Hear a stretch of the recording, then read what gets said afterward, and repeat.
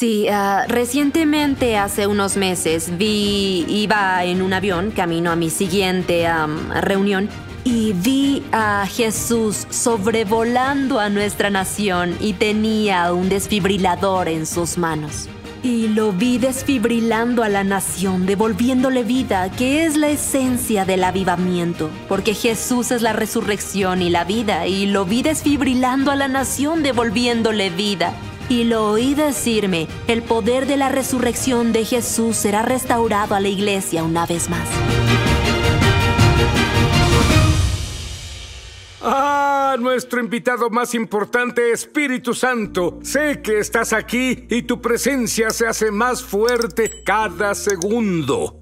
Ah, Miriam Evans, hay... Eh, hay mucho que está pasando ah, aquí ahora y en tus reuniones. Para los que no lo saben, ¿qué, ¿qué tipo de cosas suceden en tus reuniones? Sí, las personas son sanadas físicamente. Los milagros brotan en mis reuniones debido a la gloria, la presencia del Espíritu Santo, que cae y toca a las personas. Y cuando lo hace, a veces siento que me guía en los servicios para ver a la audiencia y decir, tienes permiso de ser sanado en cualquier momento en el servicio. Y muchas veces cuando hago eso, también doy permiso a la gente para interrumpirme y les digo, si sientes una mejora en tu cuerpo, sea lo que sea, incluso una mejora del 10%, agita tus dos manos sobre tu cabeza y sabré que el poder del Espíritu Santo sanó tu cuerpo. Así que por fe, si tú tienes en casa una mejora del 10% o más, simplemente levanta las manos a Dios. Lo ah. entenderemos si al público en el estudio levanten sus manos a Dios cuando obtengan su mejora. Los veremos. Sí, sí, lo creo. Y aún ahora lo hacemos. Te damos permiso. Siento por el Espíritu Santo que ahora la gloria de Dios viaja a través de las ondas del aire. Y decimos, en el nombre de Jesús, sana. Incluso siento que ahora Dios sana a alguien que vive con cáncer. Te ha invadido el miedo y sentí que el miedo se fue ahora mientras Sid te daba permiso. Y declaramos en el nombre de Jesús, sé sano y ordenamos al cáncer que salga de tu cuerpo en el poderoso nombre de Jesús. Gloria Señor. Y mientras lo haces, hay aún muchas personas que tienen dolor en el cuello y quizá migrañas. Ah, también son sanados ahora. Dime algunas cosas de las que sanan las personas en tus reuniones. Sé que en cada reunión ah, sanas a mucha gente, pero dime algunas. Ha sido grandioso. Te contaré una historia grandiosa. Recientemente una mujer que era sorda estuvo en la reunión. Llevaba sorda unos 15 años. Perdió su, su oído cuando iba a la secundaria y Di el anuncio, como dije, tienen permiso para sanar en cualquier momento de la reunión. Les di permiso para interrumpirme. Entonces, cuando comencé a orar, mientras el equipo de adoración ministraba, ella agitó sus manos en el aire y la esposa del pastor la llevó al frente. Y yo dije, ¿qué pasa? ¿Qué hace Dios? Y ella dijo, mis oídos acaban de abrirse. Y así comenzó a compartir mm. con la sala lo que pasaba. Había una mujer en la audiencia que tenía un severo tinnitus. El zumbido en sus oídos era tan fuerte que le era difícil escuchar sonidos bajos en una conversación. Y mientras escuchaba el testimonio de la mujer que sanó de la sordera, ella dijo, Dios, si lo hiciste por ella, puedes hacerlo por mí y Dios la sanó de su tinnitus. Mm. Y no terminó ahí. La mujer que sanó del tinnitus fue a una fiesta de cumpleaños esa tarde en un restaurante y terminó sentada junto a otra mujer que se quejaba de tinnitus y dijo, lo siento, no escucho lo que dices, sufro de tinnitus y el zumbido es tan fuerte. Ella dijo, tengo buenas noticias, acabo de ser sanada de tinnitus, así que oraré por ti ahora mismo. Le impuso mm. las manos y oró en el nombre de Jesús, sé sana, la gloria de Dios cayó sobre la mujer. Ella cayó sobre su plato de comida. La camarera se acercó y dijo, Señora, ¿está bien? ¿Qué le pasa? Y ella dijo, Todos están bien, esto es una demostración del Evangelio y compartió las buenas noticias de Jesús con la camarera ese día. Um, ¿a, qué te refieres con que somos puertas a la gloria de Dios? Bueno, el Salmo 24.7 nos dice, Eleven puertas sus dinteles, levántense puertas antiguas, que va a entrar el Rey de la Gloria. Y si seguimos leyendo, dice, ¿quién es este Rey de la Gloria? El Señor, el fuerte y valiente, el Señor, el valiente guerrero.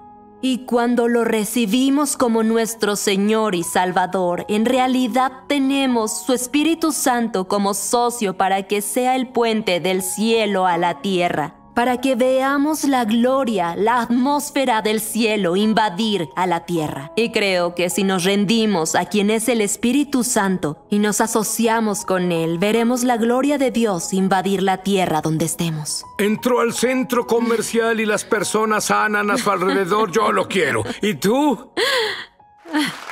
Te diré que... Eh, dime un par de cosas de tu nuevo libro, Glory Miracles para hacer una puerta viva, solo un par. En primer lugar diría que el hambre, porque el hambre en realidad llama al cielo, porque no podemos hacer nada para ganar la sanidad o para ganar la capacidad de sanar a otros, es por la obra consumada en la cruz. Y el hambre en realidad nos califica para recibir de Dios y definitivamente diría que el hambre es una puerta de entrada para experimentar la gloria del Espíritu Santo. ¿Todos pueden ser una puerta para la misma presencia para la que eres puerta? Si creen en Jesús, el Mesías, sí, absolutamente. Creo que nos convertimos en puertas, tal como lo dice el Salmo 24.7. Dime algo más del libro, por favor. Sí, diría que el riesgo. El riesgo es una puerta importante. Eso ha sido la... La cultura del riesgo en mi vida. Ha cambiado mi vida. Si puedo dar un paso y obedecer lo que la Biblia dice que debo hacer, no sé si el avance de alguien más llegará si yo me arriesgo. Al otro lado de mi obediencia, creo que puede haber un avance para alguien. Sí, pero ¿qué pasa si tomas un riesgo y no pasa nada? Una gran pregunta porque me ha pasado antes. He tomado riesgos y no ha pasado nada. Pero como estoy aferrada al amor de Jesús, puedo sentir que dice, hija, buen trabajo, sigue luchando y presionando para ver que obtengo la recompensa que pagué en la cruz. Y creo que por eso veo grandes niveles de avance y hay más, hay más por lo que creo y lucho. Y mi intención es hacerlo a través de la puerta del riesgo. Hizo falta un milagro para que una chica de 17 años embarazada, con un estilo de vida de relaciones promiscuas, hábitos destructivos y que experimentaba con drogas, se transformara en una puerta de entrada de la presencia de Dios. Miriam, ¿qué estaba pasando? Sí, tenía 17. Descubrí que estaba embarazada. En ese tiempo estaba muy enfocada en los deportes. Tenía una beca de voleibol, tantas cosas que pensé que haría. Desafortunadamente Jesús no era el Señor de mi vida y así fue que llegó el desastre. Descubrí que estaba embarazada y tenía miedo. Sabía que tenía una decisión que tomar. Iba a elegir la vida o la muerte. Y desafortunadamente había muchos a mi alrededor que eligieron la muerte. Y recuerdo que una noche en particular fui a Dormir y pensé que la única manera de salir era abortando, era la única respuesta que tenía. Y cuando me acosté para dormir, de inmediato, tan pronto como mi cabeza tocó la almohada, de inmediato entré en una visión. Y ya no estaba en mi cama, y miraba alrededor, y de hecho estaba en una cama, pero era una habitación de hospital. Y cuando miré abajo, vi que había un demonio al pie de mi cama parado a mis pies y tenía sus manos como si esperara por el bebé. Y miré alrededor de la habitación y mi habitación empezó a llenarse de demonios por toda la habitación y me sentí sin vida, sentí como si me muriera. Y en cuanto vi que los otros demonios entraron al cuarto, miré hacia abajo de nuevo y mi estómago y piernas estaban cubiertos de sangre y tenía hemorragias y podía sentir que la vida se me iba, sentí tanto miedo, sentí la muerte en mi habitación. Y justo cuando empecé a rendirme y pensar, me voy a morir aquí, de repente había un hombre. Apenas podía verlo por la luz cegadora que estalló en la habitación. Abrió la puerta con su mano y con un sonido, una voz dijo, son míos. Y cuando hizo esa declaración, cada demonio en la habitación se desintegró por completo, desaparecieron.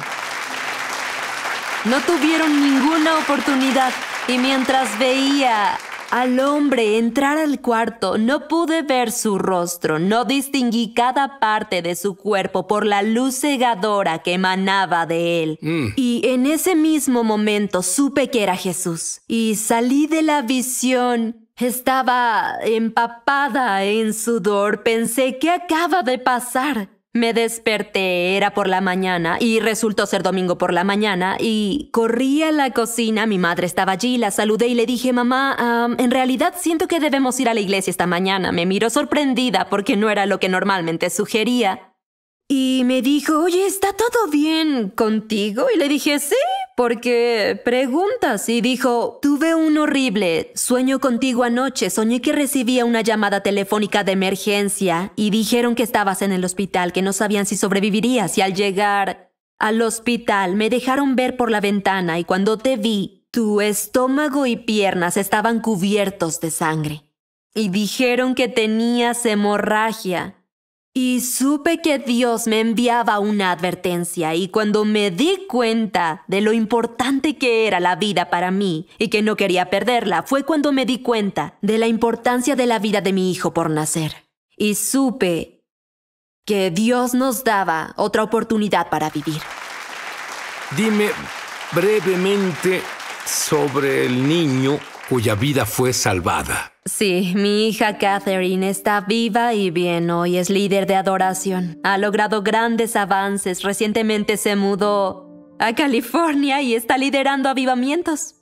Y estoy muy agradecida, estoy muy agradecida por ella y siento en este momento que la generación Z nos ve. Siento que hay personas que nos ven y que se consideran de la generación Z. Y creo que ven este programa en un tiempo como este y Dios los llama. El Espíritu Santo los impulsa ahora a través de mi historia. Y solo quiero profetizar y declarar sobre la generación Z que Dios los eleva en pureza y poder, y veremos portadores de la gloria surgir de la generación Z, y creo que para muchos que nos ven, Dios ha marcado sus vidas para lo milagroso, Él ha marcado sus vidas para ser una voz de avivamiento para su generación, y hablo a todo poder oscuro que los tiene cautivos, y digo, sean liberados en el nombre de Jesús. Dices que el fuego nos prepara Sí. para ser portadores de la gloria. Explícalo. Creo eso. Juan el Bautista dijo, los bautizo en agua para arrepentimiento, pero el que viene después de mí les bautizará en el Espíritu Santo y fuego. Ese fuego en realidad comenzará a purgar la depresión, la, la opresión demoníaca de la enfermedad, la esclavitud y la adicción. El fuego de Dios consumirá a nuestros enemigos, pero ese mismo fuego también nos refinará y sacará el oro que se nos puso dentro estando en el vientre de nuestra madre. Y ese fuego en realidad sacará todo lo bueno que Dios puso en nuestro interior para que caminemos en pureza, poder y santidad. Ahora cuéntame sobre la visión que tuviste para este país. Sí, ah, recientemente, hace unos meses, vi, iba en un avión camino a mi siguiente reunión y vi a Jesús sobrevolando a nuestra nación y tenía un desfibrilador en sus manos. Y lo vi desfibrilando a la nación, devolviéndole vida, que es la esencia del avivamiento, porque Jesús es la resurrección y la vida, y lo vi desfibrilando a la nación, devolviéndole vida. Y lo oí decirme, el poder de la resurrección de Jesús será restaurado a la iglesia una vez más. Y realmente creo que ya empezó, ya empezó y vemos esto en nuestras reuniones, pero un día Dios me dijo, lo llevó un paso más allá y me hizo una pregunta muy provocativa, me dijo, ¿me darás tu vida? Y yo dije, claro Jesús, ya lo he hecho, por supuesto. Dijo, ¿me darás tu vida diariamente donde pueda tomar tu vida y convertirte en el desfibrilador en mis manos para traer cosas muertas de vuelta a la vida? Y creo que Él está pidiendo al cuerpo de Cristo una vez más, a la iglesia de Jesús, serás el desfibrilador en mis manos que traerá las cosas muertas a la vida, cuerpos muertos, espíritus, personas espiritualmente muertas, matrimonios muertos, familias muertas, y estamos viendo las olas de avivamiento levantarse en nuestra nación. Miriam, esto es importante. Quiero que ores por el bautismo del Espíritu Santo, el bautismo de fuego y lo que sea que Dios te muestre ahora. Por supuesto, en el nombre de Jesús, todos levanten sus manos donde estén y, Señor, oro para que el bautismo del Espíritu Santo y fuego caiga sobre ellos, Señor. Puedes resucitar ahora cada cosa muerta en sus cuerpos, en los matrimonios, en las familias. Dios, oro ahora. Siento que algunos de ustedes el Señor les dice con este bautismo de fuego, llamen a sus seres queridos que están lejos de Jesús. Hemos visto que esto pasa. Vi que pasó en mi reunión. Impartí esa palabra. Y una mujer que no supo de su hijo en tres meses de pronto la llamó. Que los hijos pródigos vuelvan a casa ahora en el nombre de Jesús. Y reciban